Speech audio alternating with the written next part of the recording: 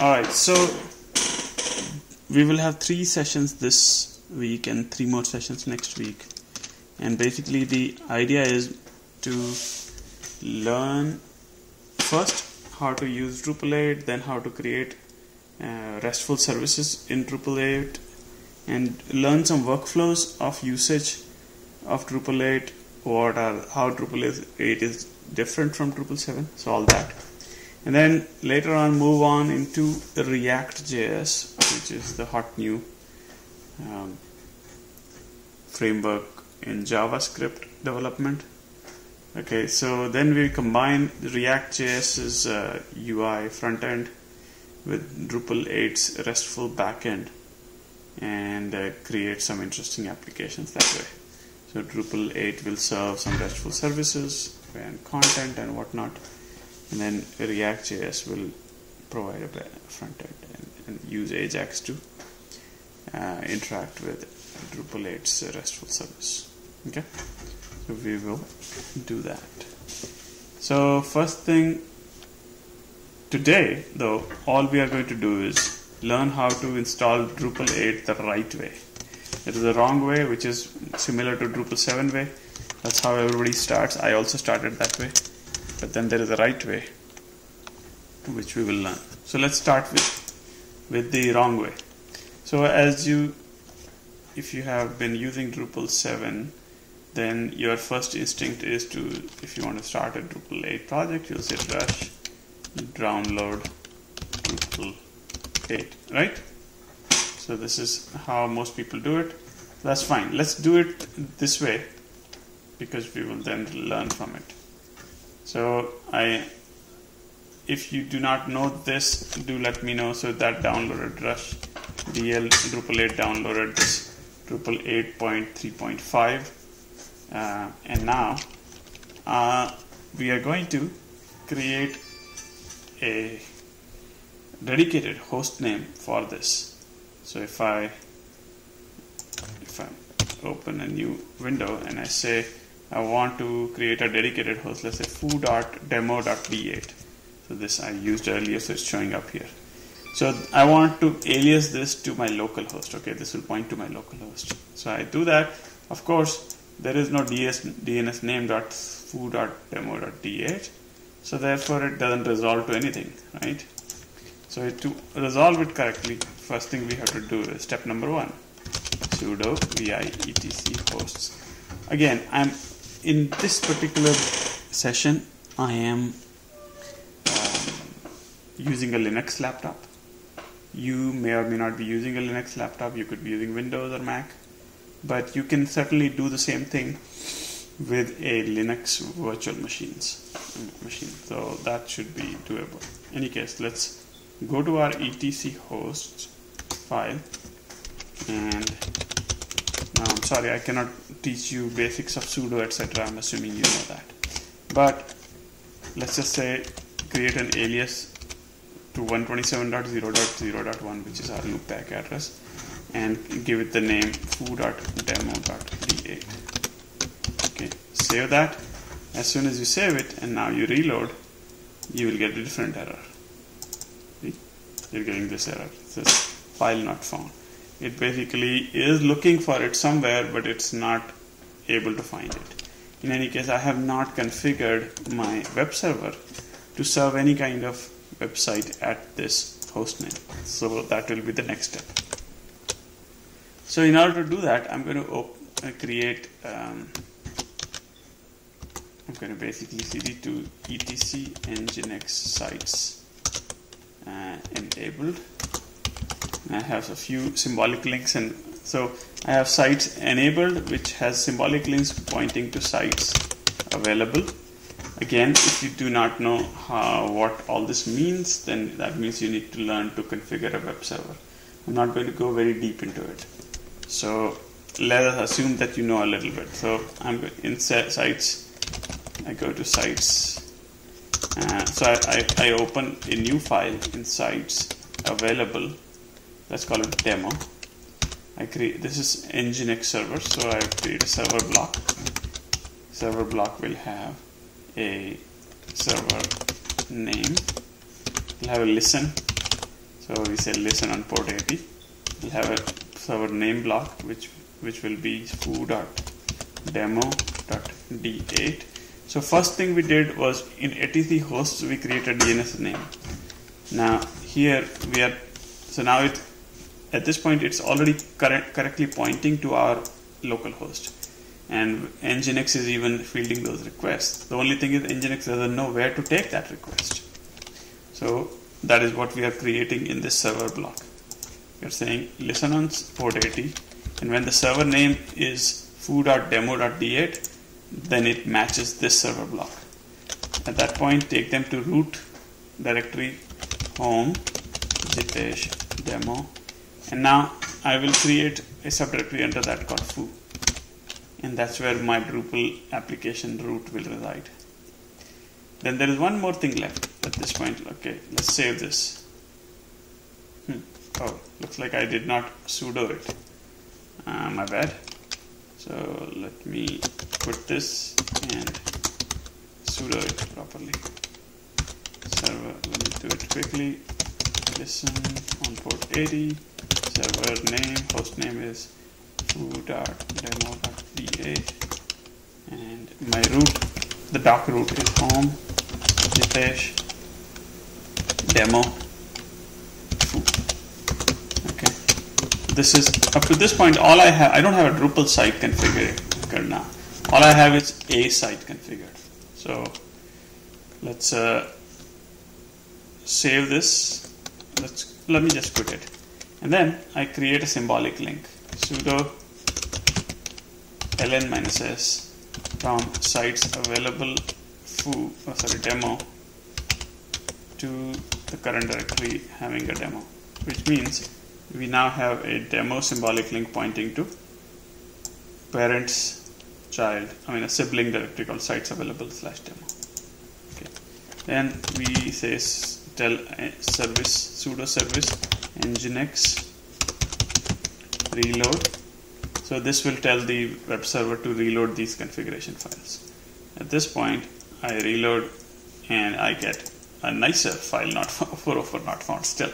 Why? Because foo directory does not actually exist. So let me just go back to uh, my demo directory. There is no foo in here. There is only Drupal 835 so let me just rename. Drupal 835 to foo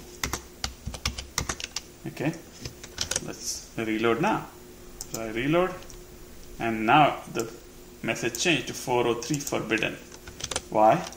Because foo directory has all kinds of uh, now the, the foo directory is found the doc root is found but it has all kinds of things but none of them is index.html there is an index.php yes but that uh, nginx so far does not know that it is supposed to serve index.php besides it also doesn't know how php works at this point so and I am going to fix that in a second. Just to show that this works, I can type readme.txt here and I get the Drupal readme.txt, which means it is correctly pointing to this place, right? Okay, so now there is only one thing left, which is I have to go to sudo vi sites uh, available demo, and in there I have to add configuration file that will make this Nginx uh, virtual server understand how PHP works and how Drupal works. Solution is I have a pre-written include file under apps Drupal. Let me just explain where that what that is. There is a file call, called sorry not app but apps. Okay, let me just explain that. In etc nginx there is a directory called apps and in there there is a file called Drupal. This file has a whole bunch of configuration for Nginx which configures Drupal related stuff and it, it configures PHP related stuff. So for example, it it understands that whenever something like for example here um, yeah so here it has whenever you try to reach the root or any any child thereof try try the file itself then try index.php followed by query string and uh, then whenever you know so so there is um, there is some configuration this I basically got from internet. So this is not a part of this session. We cannot explain how this works but you can get this uh, off of internet if you just search for um, Nginx Drupal 8 configuration or Drupal 7 configuration. So I'm just including that. As soon as I include that save and quit and then reload.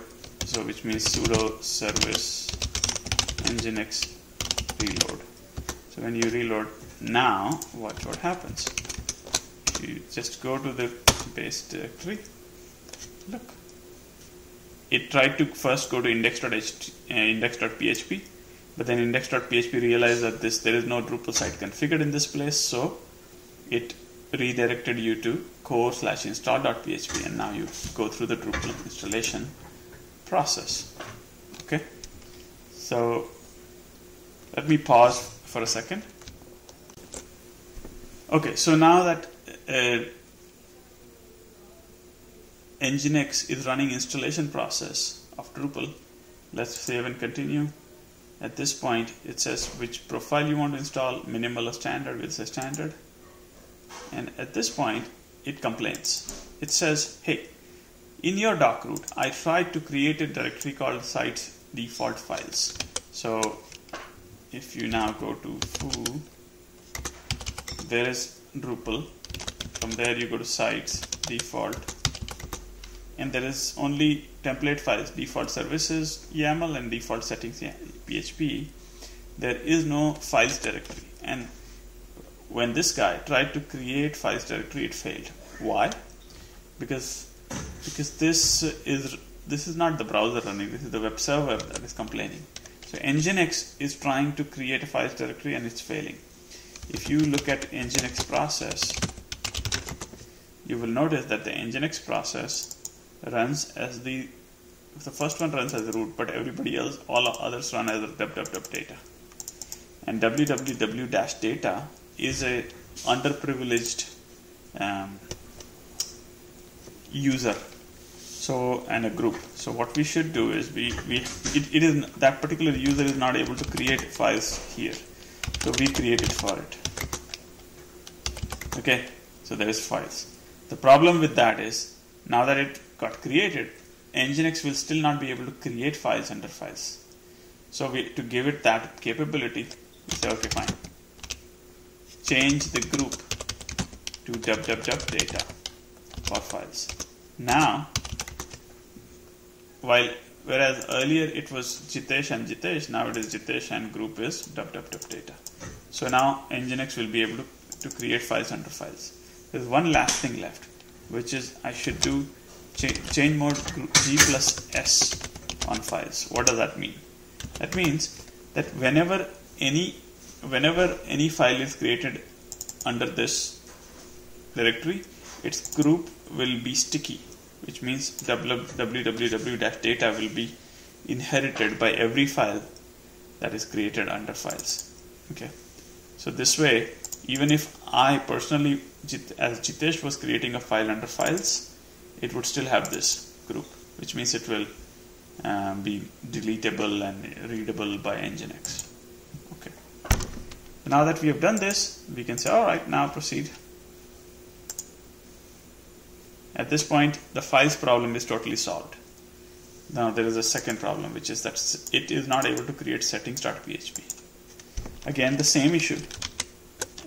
So what we will do is we will create a basic settings.php. So copy default.settings.php to settings.php and then one more thing again nginx will not be able to write to it so we change the group to settings.php okay now as you can see group has the right permission to the settings.php therefore this will work. Let's proceed. And it proceeded. It now wants a database name a username and a password. So let's as Jitesh, let me create a, um, a new database. Create database. Uh, demo Jitesh and once I do that I can use this database name. Oops. Let me do it again. Yep so that's my database name. Username is Jitesh. And the password I automatically generate so I put it in my my.cnf tilde slash dot my.cnf and this is my password. And I save and continue. So I created a new database and gave it the username and password the MySQL username and password. And now it proceeds. So up to this point you might notice that this is very similar to Drupal 7 in fact there is hardly any difference at all. Okay? And this this approach still works yes but this is not the right approach and I will show you in a second why it's not. But before we do that let's just let's just start with what is familiar to us uh, which means we use the D uh, D7 approach for now. Okay. So let's allow this to finish. Right now it is going to install 40 modules. Um, as you know in Drupal installing and downloading a module are two different things. When you download the module it's just sitting on your file system. It's not installed yet. Installation means you check the checkbox in front of that um, module's name in Drupal configuration administration. And then you say okay now install this or enable it. When you enable a module for the very first time it goes through an installation process and that means it creates some files or it may create some tables it may create some configuration. Whatever it needs to create in order to function properly that is what it does. So that's the installation process. And uh, there is one very important thing. In Drupal 7 you were able to disable module after they have been enabled. In Drupal 8 there is no such thing as disabling a module. There's only one option uninstalling the module. That's it no way to disable modules anymore in Drupal 8 you can only uninstall them which you might imagine is a very uh, risky thing, I guess, because you will lose all configuration, all data, all content, all tables, everything that the installation process created. So that is the way it is in Drupal 8, and nobody knows exactly why that was such a great idea. But hey, so let's see. Let's finish installing this uh, foo d8 foo site. And its email address. Let's just use my email address. Admin user give a password. So so far nothing new to you but trust me good stuff is coming. So finished. So this is our site. It says all necessary changes to site's default and site's default settings PHP have been made you should remove write permission to them now in order to avoid security risks. So what they're saying is you should go here and say chmod remove the all write permissions okay to settings.php and remove the I guess you could also make uh, remove all write permission to the current directory as well so now you have nothing uh, so the current directory cannot be written no more files can be created here and then settings.php becomes read-only as well. The only thing where files will be created is the files directory. Okay, so let's. Uh, so at this point, let's go to extend, and in extend you will see what is what Drupal modules come with core. Okay, so we'll go in there, but let me now talk about what uh, what are the new features in Drupal 8? Why should we do Drupal 8? And the reasons are right here. I just rewrote, rewrote them. So basically, Drupal 8, everything is an entity. So what I mean is, not only nodes are entities, but so are blocks. Blocks are entities. So if you go to block layout, uh, you can take any block the custom block library you can create new block types you know add a custom block and then you can add custom fields to blocks this is something that Drupal 7 didn't have so everything is an, an entity files are entities out of the box user of course in Drupal 7 users taxonomy terms and um, nodes for entities. But now in Drupal 8 almost everything that you can think of even configuration items are entities. So that's one thing. It is object oriented programming in Drupal 8 so Drupal 8 is mostly object oriented there is some procedural code still left but for the most part Drupal 8 is object oriented then Drupal 8 is mobile first meaning say every all even the admin uh, themes all the themes are basically uh, mobile ready. So if, you, if I make my browser smaller let's say. You see how it it changed the layout because it's it's uh, adjusting itself to a smaller screen size. If I keep going then you see this became uh, a mobile menu the hamburger menu as they call it so so this this is uh, the built-in Bartik theme which is now responsive theme so it's fully responsive Mobile first also means that it has uh, other enhancements which are friendly to mobile clients. We'll, we won't be discussing them just yet. So REST in core, which means it has RESTful services available uh, directly in core. If you see here, if you look for REST, you see RESTful web services are in core. So we can enable them. We'll do that later. Now, it has what WYSIWYG in out of the box. So if you remember in Drupal 7, there was no WYSIWYG out of the box. You had to actually install it as a contrib module. What is WYSIWYG?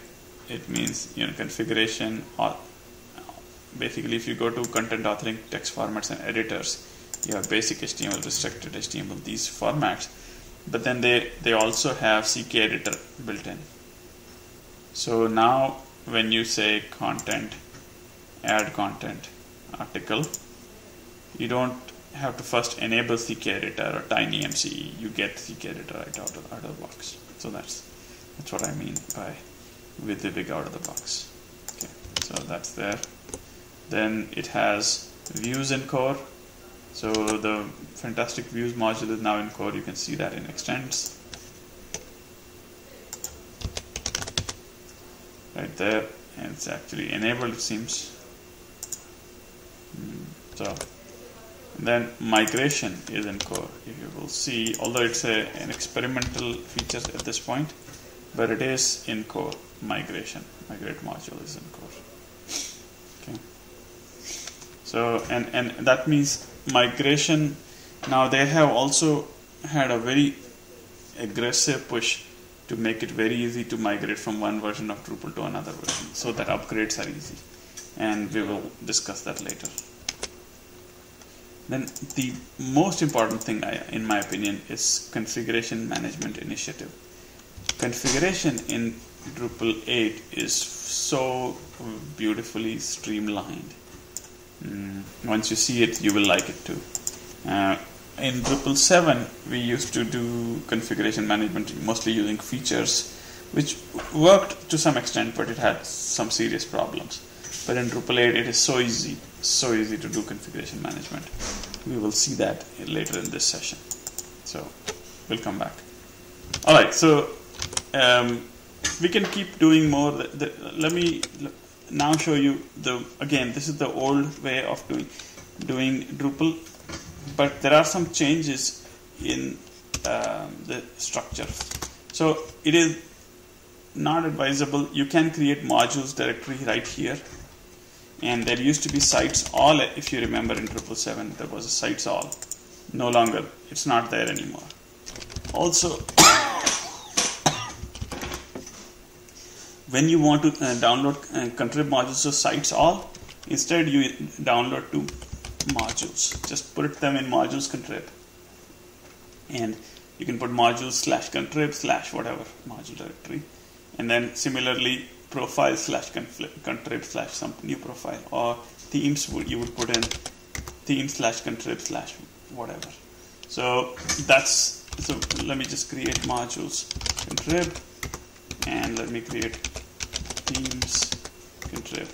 So if I like for example right now I don't like the fact that this is not stick uh, flying out the menus are not flying out on their own. So I'm going to just say drush DL admin toolbar. That's the new uh, module that helps you make the admin uh, menu fly out. So I download admin toolbar. It okay, download it to uh, yeah docroot slash modules. Contrib Okay, so in there it has admin toolbar and admin toolbar tools. So if I say drush en admin underscore toolbar. Yes. So once I do that I refresh this page and now hovering on this actually expands the menu and makes it fly out. This is much easier right? So this is how uh, Drupal 7 used to be done and this is how Drupal 8 we are doing right now. But this is not the recommended approach because of configuration management. And let's come to that. There are two things that are added to the mix. One is CMI the other is Composer. These two things have changed your Drupal work, uh, development workflow let me show you what I mean. So let's look at the configuration uh, CMI first. If I go to configuration development configuration synchronization. So this is a new area. So what it will do is if I make any changes or if I don't even make any changes if I just export the configuration it gets exported in terms of eh, as YAML files in Drupal 8 all configuration is exported to YAML files and imported from YAML files what are YAML files yet another markup language we'll see them in a second so let's hit export and just say export so watch what happens it simply downloaded the uh, gzip file. So if I look at this gzip file, it's config foo demo. Config foo demo tar.gzip. So if you notice, it has some, it has a date stamp on it. And these are YAML files. So many YAML files, right? So this is how um, uh, it exports. Yeah, if I open any of these YAML files, so it has uh, a key and a value, then another key with a sub key because it is indented by two spaces. Whenever you have two spaces, it means a sub level within a nested level. So we can go through these, but that's not interesting. Uh, the other thing I wanted to show you was you can export the configuration by simply saying drush cex and then configuration export, right?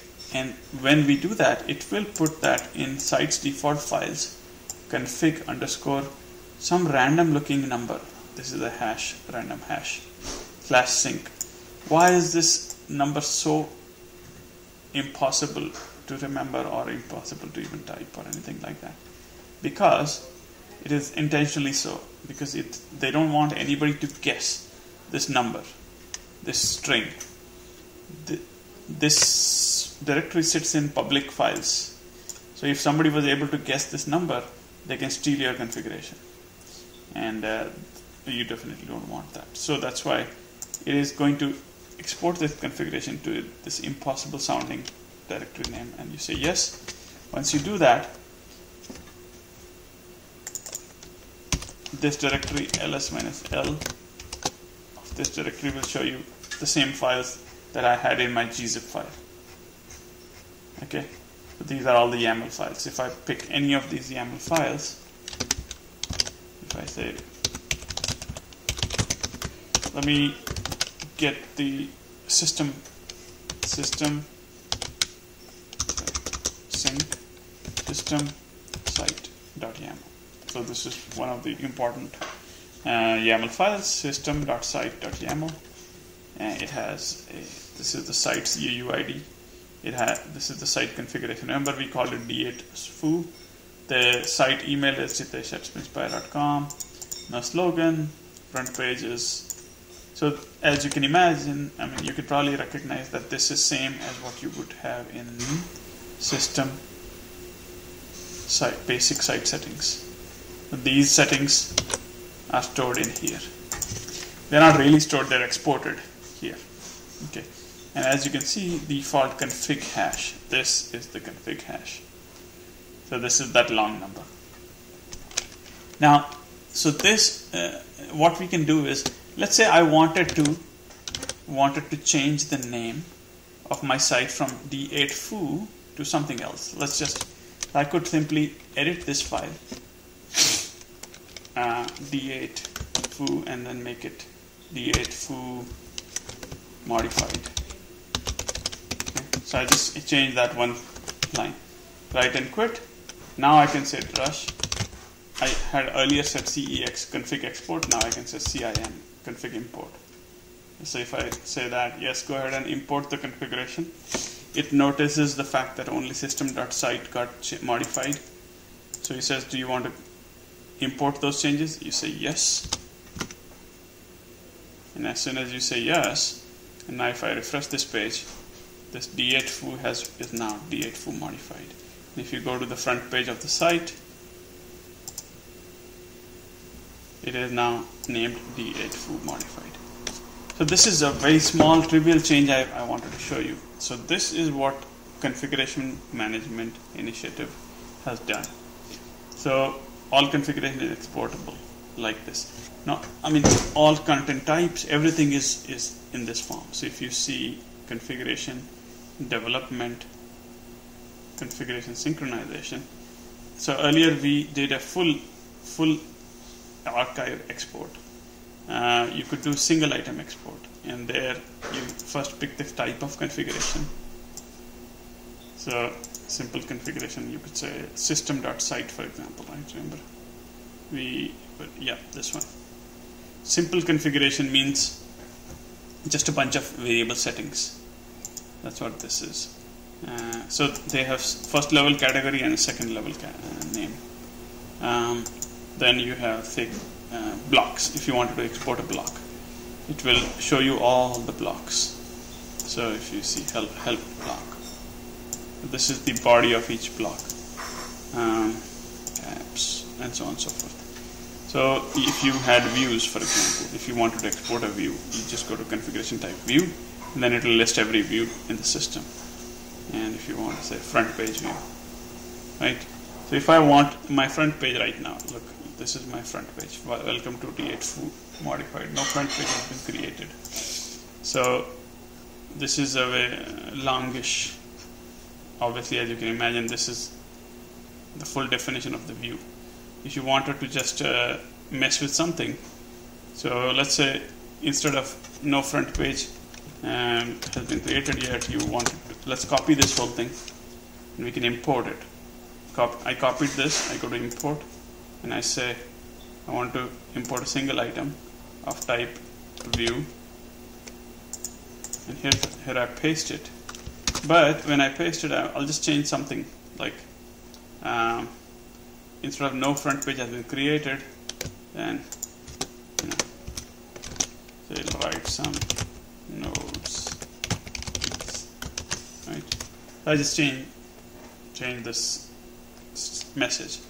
If I say import, it is it's saying that you are overwriting something. Do you want to do this? Yes, I want to do this.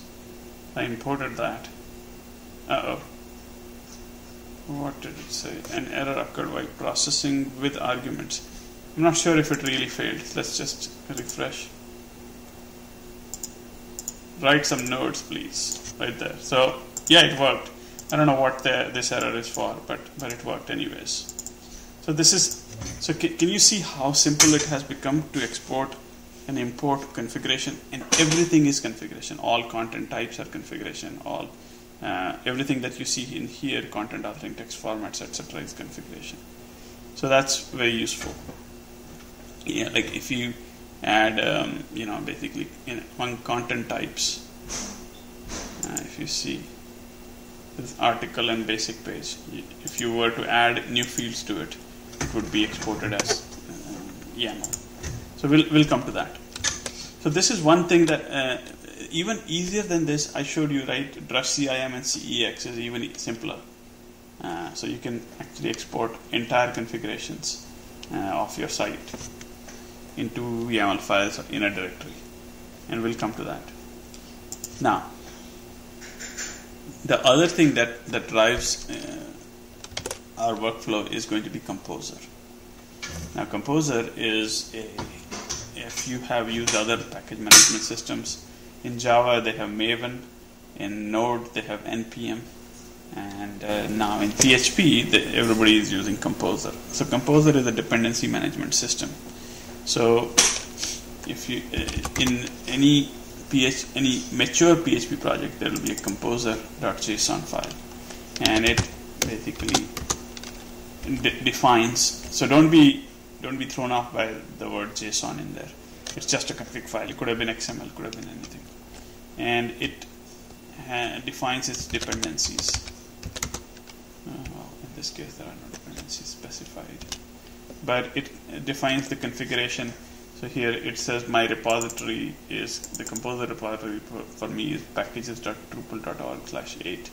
So which means uh, you can tell composer to download a new package and it will pack, download from this place. The fun part is that it will also upload update this composer.json and therefore you can commit you can commit the composer.json to git without committing the package that you just downloaded. Because as long as you record the fact that I need this package the package can be re-downloaded in the future that's what we are going to do. So these two things uh, fully exportable configuration due to CMI and this composer based dependency management. These two things have changed the workflow. And let's now see how we would how the workflow should be changed can be changed. Okay? So let's put this. At this point I'm going to leave this site alone and I'm going to move on to a different site I'll call it bar so I go back so I already have foo site I'm going to create a bar site. But this time, instead of doing drush DL Drupal 8 again and renaming it to bar, I'm going to take a different tack altogether. Okay, so this time I have in my history I have this composer command. So this is what what will drive the workflow. Uh, we, we will create a we'll run composer command. I already have composer installed on my machine. You will need that. And then run the create project command of composer. What it does is it basically downloads a, a composer package from a certain so this is the name uh, of the organization that published it and this is the name of the project itself. And here's the version number. Now it is tilde 8.0 which basically means that I don't want this number to change. So 8 has to remain 8, but you can make this 8.1, 8.2, 8.3, 8.9, 8.22, whatever. Doesn't matter. So this number can change, but the first number should not change. Okay? And then stability dev means I would like stable, but dev versions are also okay. And then no interaction simply means don't show me, don't ask me too many questions, just do it. Um, and now here's the name of the directory in which it will clone this project. So it will it will it will create a copy of this Drupal project from Drupal Composer repository, and eight version eight of it into this directory called bar. Okay, so now uh, I would, you know, if you are watching a video of this, you should you can just type this uh, by looking at it. Okay. I'll also try to include this in the video description. Let's start. So this this will take a few seconds, maybe a minute or two. I don't know. But what it is going to do is it's going to go to one all of its recognized package repositories for Composer to look for a publisher named Drupal Composer. And under that publisher, it will look for a project named Drupal Project find version 8 or 8.1 or 8.2 or 8.3 or whatever it can find and then download that into the bar directory so it's downloading everything so this is going faster than it normally would because I've already done this a few times. So most of these files are cached. So what it is doing again, let's, let's allow it to finish. It's basically downloading one project and then downloading all of its dependencies, and those dependencies have dependencies. So like that, there is a chain reaction of downloads.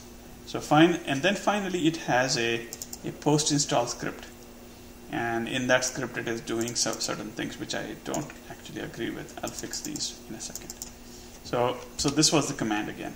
Composer create project, get it from this publisher, get this project, get this version or better, put it in this directory, get me dev stability or better, and don't ask me too many questions. Okay? Alright, so now let's see what happened. When we did that, we got a new directory called bar. But bar is not same as foo. Let's cd to bar.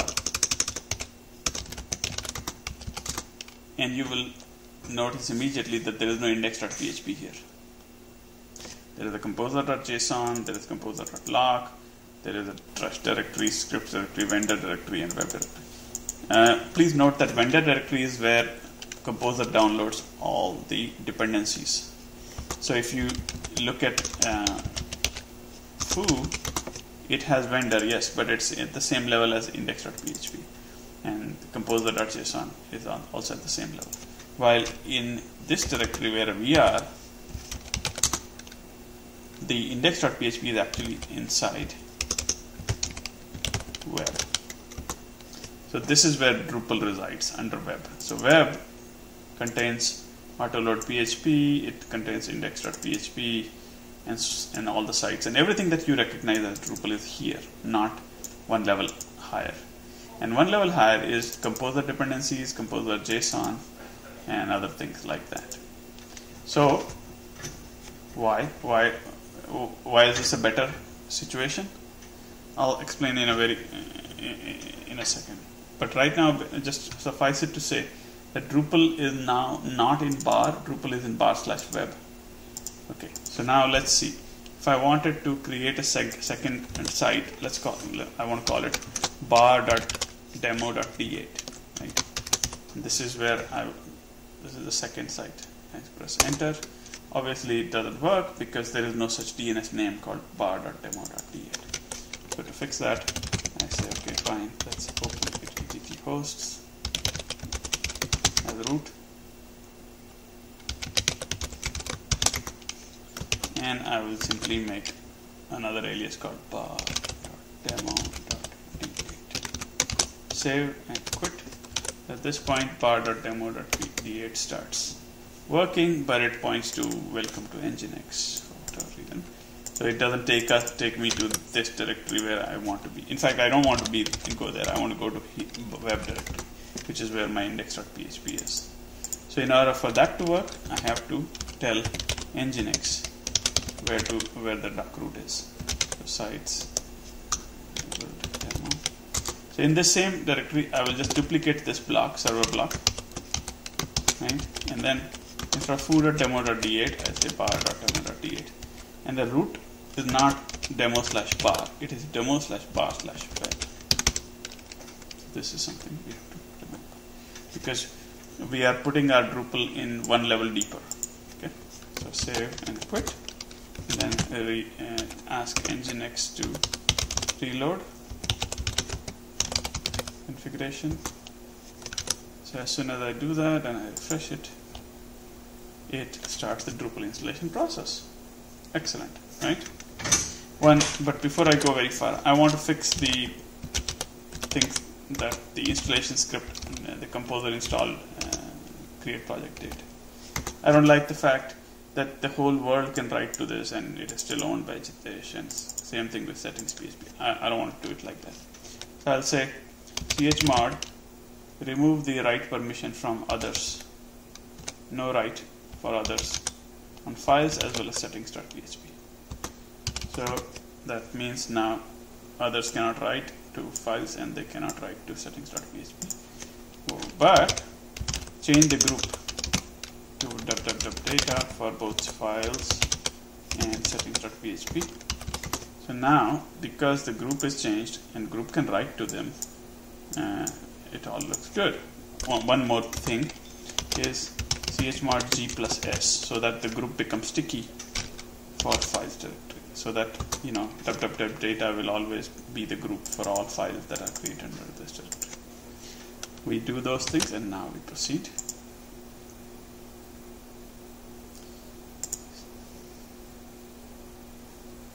Alright, so it says an automated attempt to create the config sync dot dot slash config slash sync failed. Now this is very good. Let me tell you where this is coming from. This is coming from, if you look at settings.php and go to the very end, that's where it's coming from. If you look at the settings.php of the other uh, Drupal site we created, demo slash foo slash sites default settings.php, the config directories is a setting under which there is a key called sync and that as you can see the path to the the sync version of config directory is, is this path sites default files blah blah blah now in this the configuration is different we are saying that configure the sync the configuration lives dot dot slash config which means dot dot as in uh, and dot dot related to, to the doc root. Doc root is the web directory, and which means there is dot dot config sync. Of course, it doesn't exist, so we have to make it exist. So the create, or create along with parents, mkdir minus p dot dot slash config slash sync. Now, why is this good? This is great because now configuration sits outside of doc root, which means there is no fear of anybody stealing your configuration. And now you can you can version control your configuration. You can commit configuration to config sync. We'll come, come to that in a second. But let's, let's see, it tried to create and we have now created for it. We don't even have to give it the right permission. So let's not worry about that. Let's proceed. We are in a good place. Let's create the database.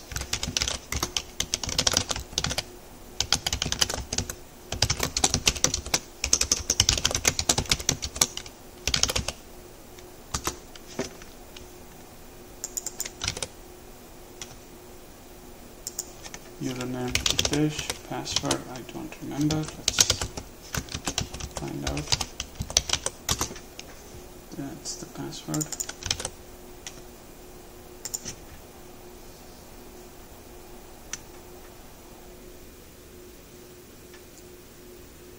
And the installation process has started. So now uh, let's take another look at the structure so this is something you need to understand the base of your project is this bar directory and in that there is a web directory, which is where index.php and the rest of Drupal sits. But then we manage our configuration, the Drupal, sorry, Drush CEX and CIM config uh, for configuration YAML files in slash config slash sync. And uh, so, which is outside of the doc root, which means there is no risk of it getting served to any user who wants it. Also, the vendor is outside and Composer JSON is outside. The only thing in web is Drupal. Drupal core, and then we will also put contrib and custom modules in here. Right, so it's installing 40 modules as you can imagine. It's going to take some time. Now, at this point, we can start Git managing it. But so what I mean is if I I can basically say git init in the current uh, remember I'm doing git init in, in bar directory not in bar slash web. If I say git init it's and then say git status so it says that you have these files that are untracked if you notice there are more directories than that so it, it so it did not complain about the vendor directory. You see, there is no mention of vendor directory. it so it also so the reason why it didn't complain about the vendor directory is because there is a git ignore file which says you are supposed to ignore the vendor directory. Uh, wait, wait, vendor directory? There. So this line says, don't bother git managing the vendor directory. Okay. So let's finish installing this site name uh, and d8 bar site email address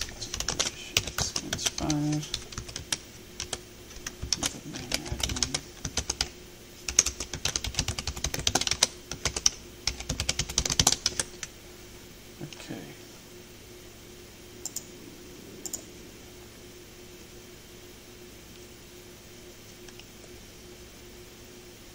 Alright, so this is the directory.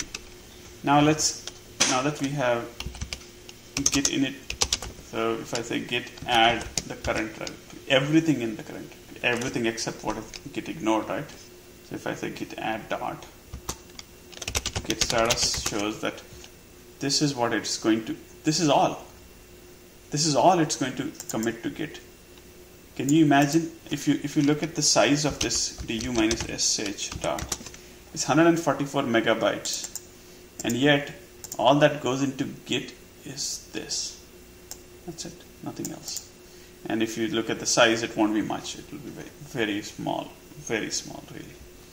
Um, okay, so let's see if this works for us. So if I say git commit initial commit save and quit okay.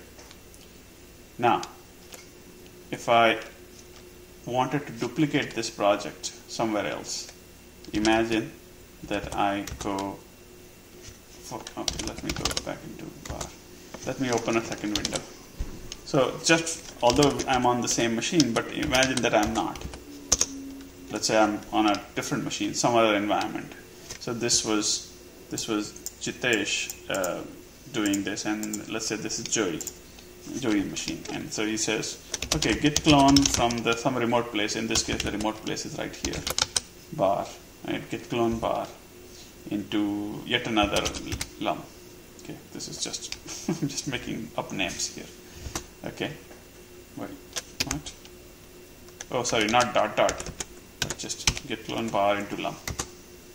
Done if I go to LUM, it has similar structure, but you will notice there is no vendor directory. And inside web, there is no core. Drupal core is missing. so, how do you get all those things that it needs? The answer is very simple, actually. Everything you need is in composer.json. That's it. Because composer.json is the blueprint of how to get everything you need. So we say composer install. That's it. Composer downloads everything. Boom. You got. Uh, at this point, if you see du minus sh, it's 142 megabytes, just like it was before. Let me let me do this again. rm minus rf lum. Git clone bar into lum. Okay. du minus sh of lum. You'll see is only 884 kilobytes. You go into LUM and just run composer install.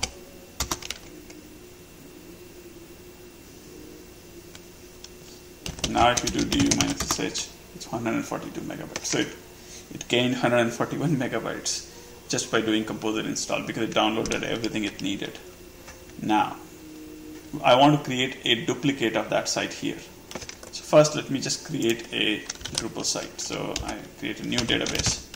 Well, we'll do that in a second. First, sudo vi etc hosts. I want to create a new host.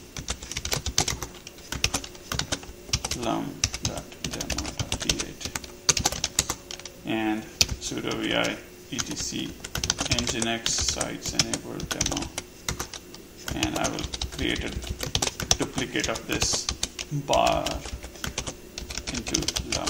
That's the only difference right? My host name goes from server name goes to lum.demo.d8 and then the path goes to home jitesh demo lum web right? That's the doc root. Save and quit. Reload. Okay. At this point if I go to this site just go to this new host name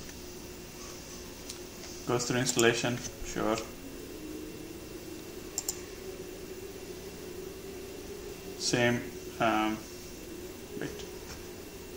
Hold on did it already create the files directory? I didn't want it to create the files directory hold on. So let's go to uh, web sites default. Canberra chmod remove others write permission on files and settings change group data for files and settings change make the group sticky on files. Okay. So now uh, it's not able to create config sync. It's fine. If I can, oh, it won't let me go any further than that. So let's just create it. kdir slash config sync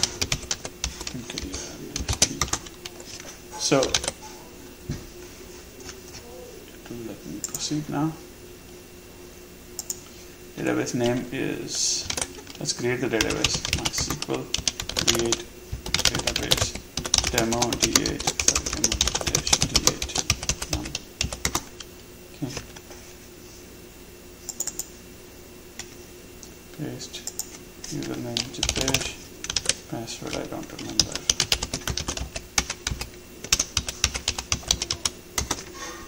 copy that password here and proceed. So let's see if we can make this lum a copy of bar. So what I'm trying to show you is the workflow where two people are working um, and they're making changes to the site and they want to share their changes, their modifications and back and forth. Okay, so you're going to version control not only custom code, but you're also going to version control uh, the configuration. So let's see um, if that works or not. I'm going to what I'm going to do is I'm going to export the con the configuration in this directory uh, in this site okay, and then I'm going to import it into this site and you'll see how simple that is. There is one one thing that you have to um, understand that they want the two sites to be clones of each other. So which means they want you to copy the databases between them. We won't even bother to copy the database and yet we will be able to um, make uh, import configuration from each other. I'll show you how. Let's just allow this, allow this to finish.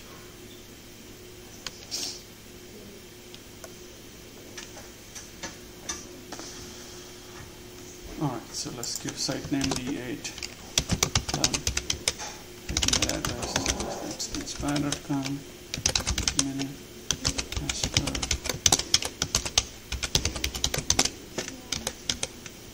Okay.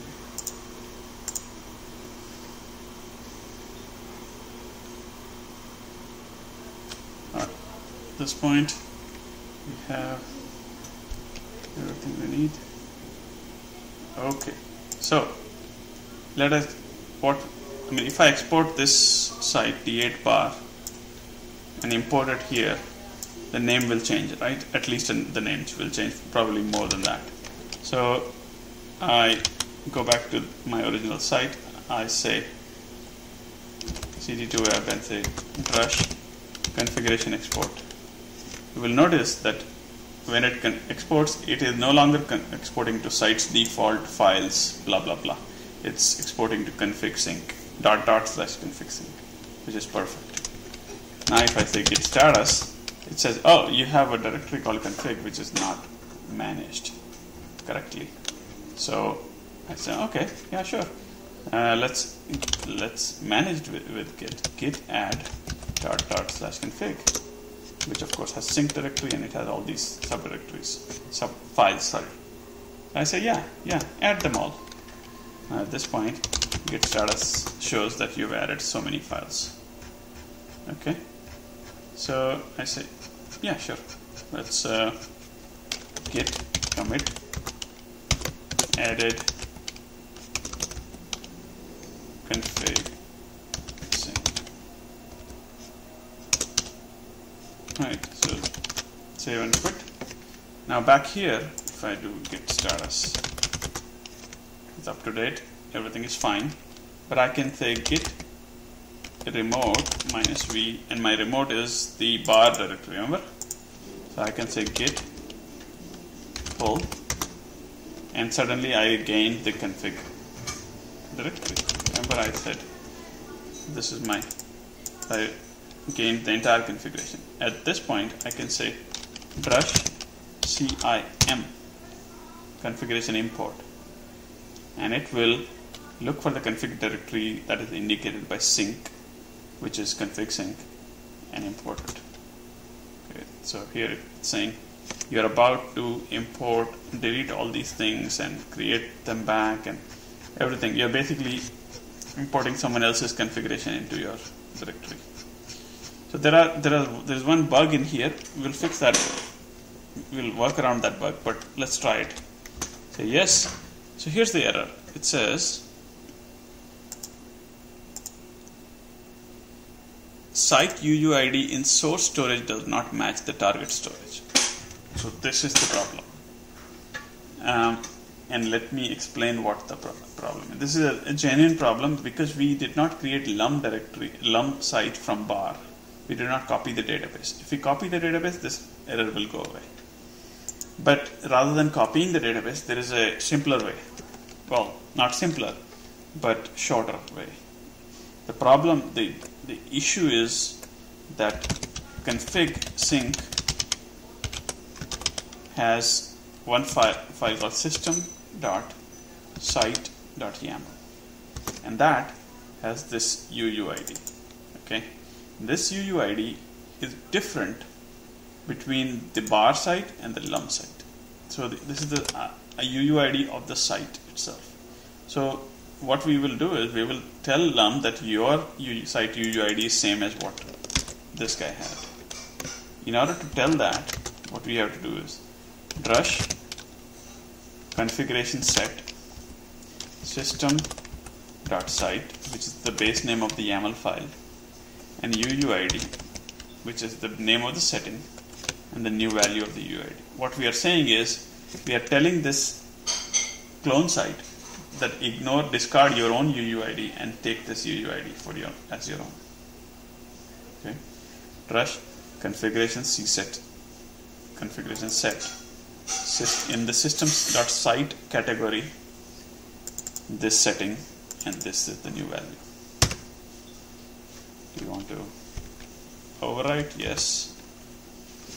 Now when I do configuration import it will not complain about that. It might complain about something else. We'll see. Okay. So what's the issue? It says import failed due to following reasons which is shortcut link. Yeah. So this is a known problem. This always shows up. And there is a simple solution to that.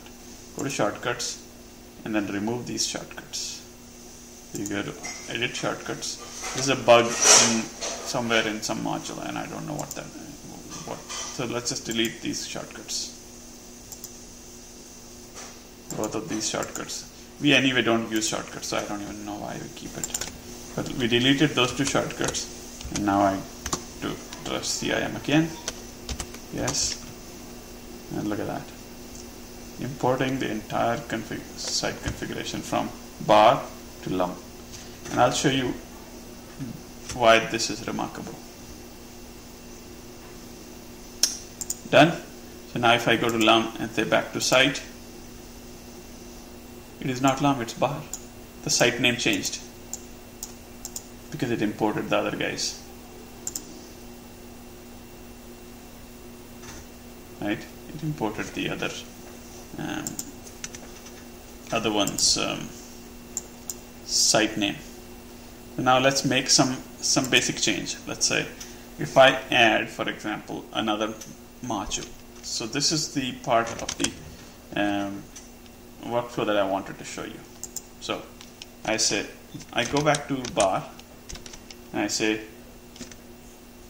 drush download admin toolbar. So you're basically adding a new a new uh, module. So look, Drush is now warning you. This code base is assembled with Composer instead of Drush. Use Composer update and Composer require instead of Drush uh, download. Okay, don't use Drush download. Use Composer require. So this is how, if you wanted to add admin toolbar, you say Composer require. Now, before I start, make sure git status is clean. Yes. So Composer require. The category, the publisher is Drupal slash admin underscore toolbar. So once you do that, hmm, admin underscore toolbar, any version of minimum stability stable. What? Wait, why is this minimum stability stable? I didn't mean to. So let me see. Composer. Oh, yes. I'm in the wrong directory. This is not where there is no there is no composer.json file here. Oh, there is. Sorry, there shouldn't have been. I think it got created by mistake. Yeah. Let me if I do git status. Yeah. Let me delete composer.json. I should go one level up here. This is the level where you should run all your composer commands. So composer require Drupal is the publisher of the repository or whatever the category. Wait, require is require and uh, admin requires the project. Okay, now it found it did the right thing. So watch what happens once I do git status after this.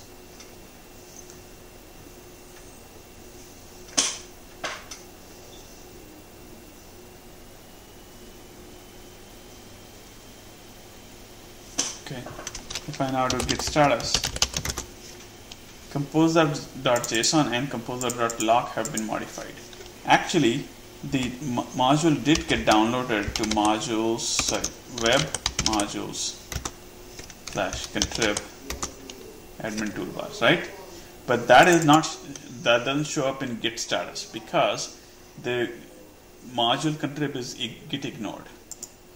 So therefore it only, but the but the change itself is noted in composer.json. If you do git diff composer.json, there it is. Admin toolbar got added, right?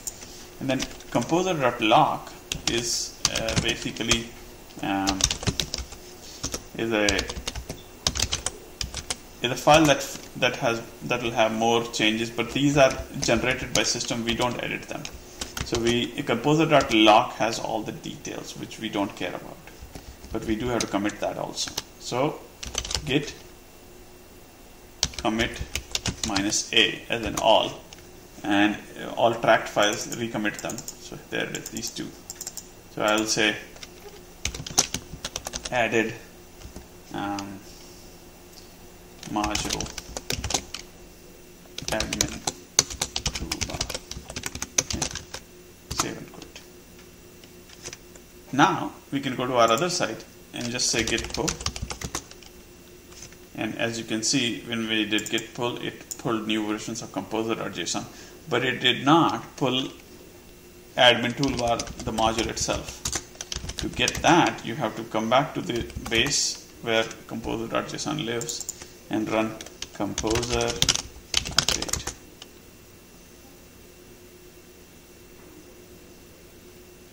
or composer install. Install will also do the same thing.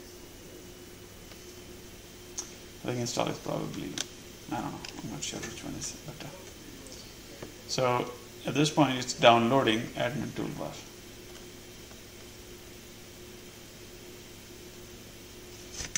So this way, um, making duplicate copies of websites in different environments becomes very easy. So now if you see uh, Git status is up to date, no change, but in web modules contrib you have admin toolbar. But strangely enough, admin toolbar, although it's been added downloaded, but it has not been installed, it has not been enabled. So we could go back here and say drush en admin toolbar. There's one problem. We are running drush from somewhere, a wrong directory. We are running drush from a directory that is not Drupal root. Drupal root is in web. Now I don't want to keep CDing back and forth between web and this directory. So I will use a trick. I say drush use home. So basically give the path demo bar this web. So this is the root and if I and then in there I will say uh, use the default site. So you're saying I don't keep I don't want to cd to the doc root of Drupal. I just want Drush to know where the doc root of Drupal is and which site within that I want to use. That's it. So you, are just telling Drush to use that. Same thing we can do here. Same, basically the same thing, but here we say Drush use demo lum found default. This way, when you do Drush status, it knows which place you're talking about.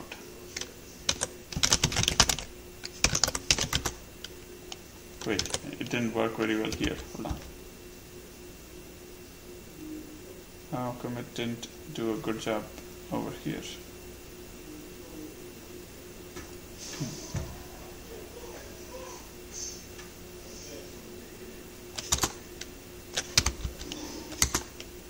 Hmm. It's not working very well here, but it works nicely here. Not sure why. Okay, we'll, we'll, we'll work that out in a second. But let's enable. Now if I enable that, uh, just like, uh, yeah, drush en admin toolbar. So, at this point, if you do git status, no change has occurred. But of course we enabled this, so we want to record that in git. How do we record that? We say drush configuration export. And when we enabled a new module, it made changes to only one configuration called core.extension, which records the fact that you have enabled modules or not enabled them. So if I say yes exported and git status now says that config sync core.extension.yaml has been modified. If I do a git diff, you will notice that it added a new line for admin toolbar. So this is very important. It's basically saying that I'm enabling a new module called admin toolbar with a weight of zero. This is the weight. So if I say git commit minus a, I can say enabled module admin toolbar. Save and quit. Back here, git pull, and then now, if I my config sync has changed, but I need to import it. So drush. I don't think this will work. Yeah, see, it doesn't work because it wants me to be in that directory. So drush use uh, home Sitesh demo. Um, oh, web. That's what. That was my mistake. I did not specify web in there. Default and now drush status will show the correct yes. And then drush configuration import will actually import something. I say okay yes go ahead and import that. As soon as I import it in the new site the admin menu should start behaving. Oh wait well, why is it looking like this? Oh because I'm in the uh, shortcuts place. Okay manage you see this admin menu toolbar got enabled because now the menus are flying out. Okay. So, what if now let's say remember this was Joey's Joey's site. And Joey's copy of my site, right? Now let's say Joey says, oh, you know what, I, am tired of following whatever Jitesh is doing. I, I, want to do something of my own. So he says, ah, yeah, I'm going to, uh, I'm going to download Path Auto. Okay. So he says, Drush, not Drush, sorry. Composer require, um, what is it called? Uh, Drupal Path Auto. So he, he's adding this.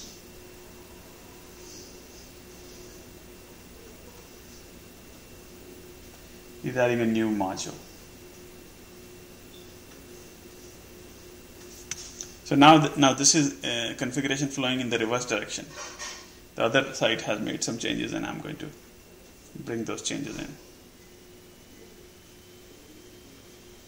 So as you can see, Path Auto downloaded token C tools also along with Path Auto because it, it this is why Composer is nice. It, it downloads the uh, the uh, uh, dependencies as well. So I say, okay, good. Now let's enable it. So drush minus y en path auto.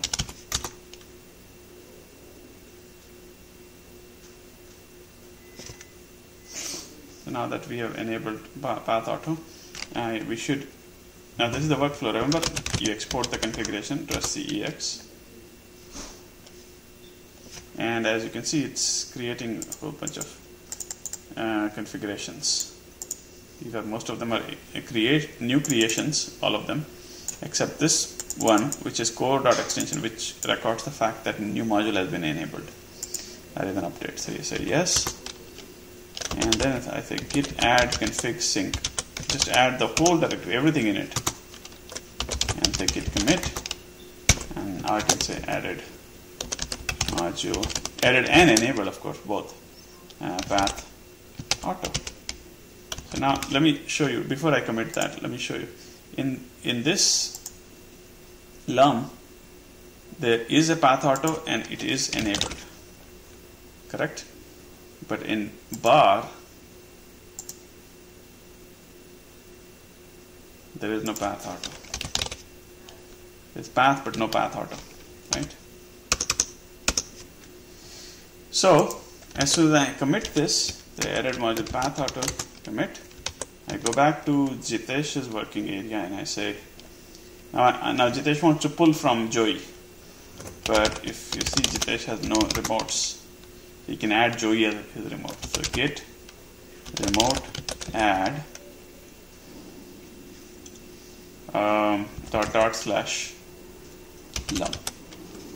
Uh, remote add oh you, you give it a name first remote add let's say yeah let's call it lum right? The name of the remote is lum or you could call it origin doesn't matter.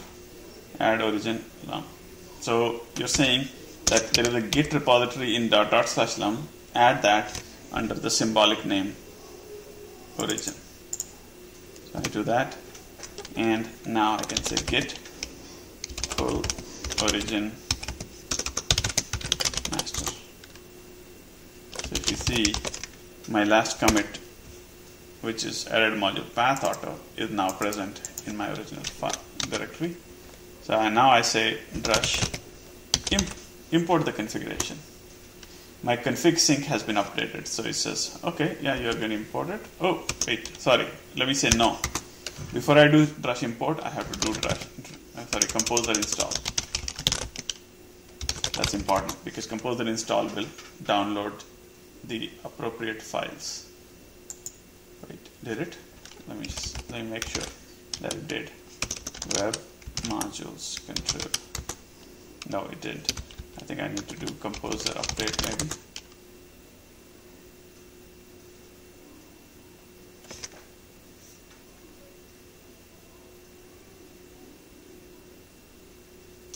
Oh, oh, wait, wait, wait, wait. I know why, why this didn't work because if you see git status composer json was never committed. That's the reason why it's not going to work. I need to add those. So git commit minus a. And I'll say added modules composer. Ah, so that was the reason why it didn't composer install didn't do the job. So now if I say git pull again and composer update this time it shouldn't notice the fact that it needs to bring in new new dependencies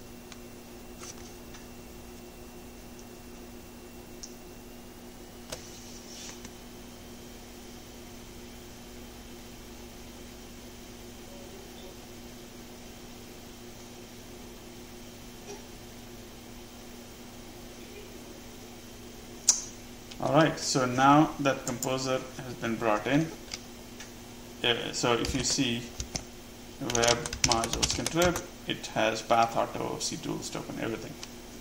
Okay. Now I can say drush, import the configuration. and this time, once I once this finishes, I can go to this extend and I will see that path auto is, in, is downloaded as well as installed. So if I go to extend and look for path auto, look, path auto is there. So this is one thing.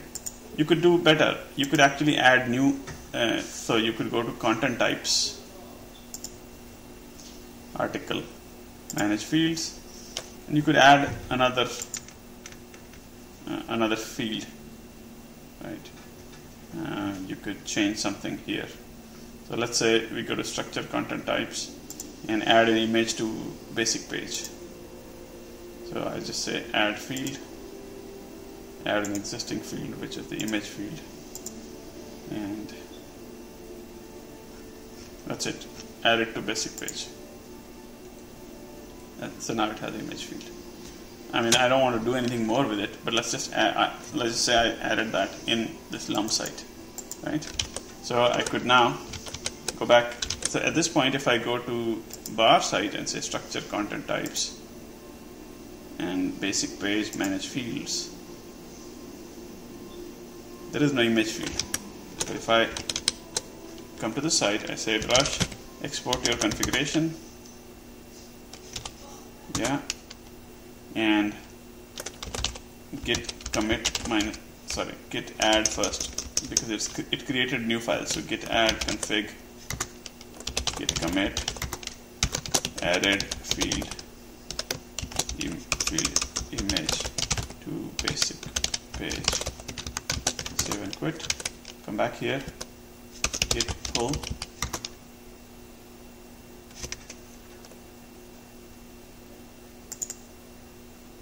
Let's set upstream origin master so this way it will, I won't have to do now I can just say git pull okay. So that happened it, it got the new changes. Now I just said drush cim import it say yes. And then as soon as I did that I refresh it I got my new field. Isn't that easy?